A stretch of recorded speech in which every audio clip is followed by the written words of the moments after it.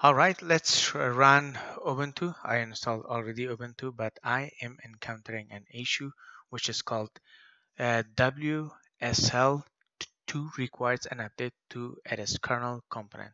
So in order to resolve this issue, there is a one command, probably two command in order to resolve it.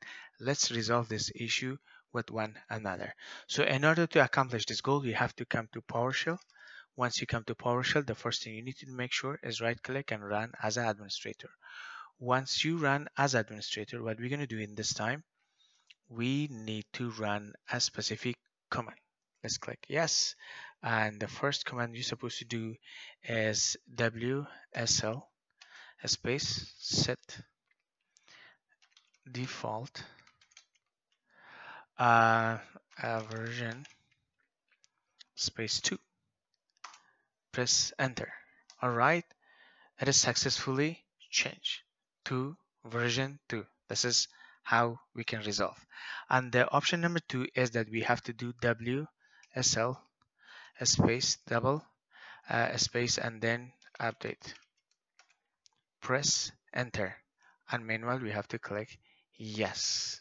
So we have to wait and watch the movie. it is not a movie, but we have to be patient and we have to make sure that we resolve this issue without any problem. So typically I type two command. The first was WSL set default version 2 and then WSL update. I'm going to update as well. I just want to make sure that I am good to go. So some people they do this one before they install any operating system like CentOS, Ubuntu or so on.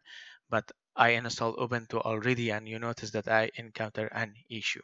All right, let's close this line and open the CentOS or we can say let's open the Ubuntu once again.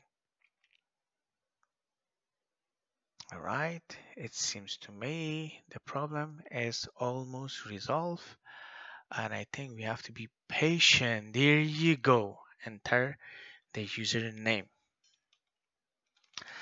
let's say uh, Elyas Tech and the password is?